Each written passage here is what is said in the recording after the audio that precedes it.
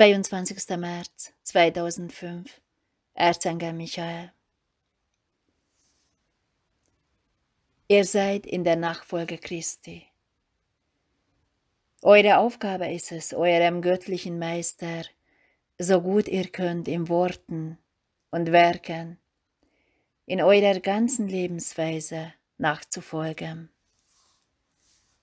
Darum müsst ihr Tag für Tag kämpfen und Opfer bringen. Ihr müsst gegebenenfalls sogar täglich mehrmals neu anfangen. Schreitet jedoch in Treue und Liebe auf dem schmalen und steilen Pfad der Christusnachfolge voran. Betet, meditiert und nehmt euch jeweils eine konkrete gute Tat vor eine Tat der leiblichen oder geistigen Barmherzigkeit. Geht so weiter voran und auf euren göttlichen Meister zu.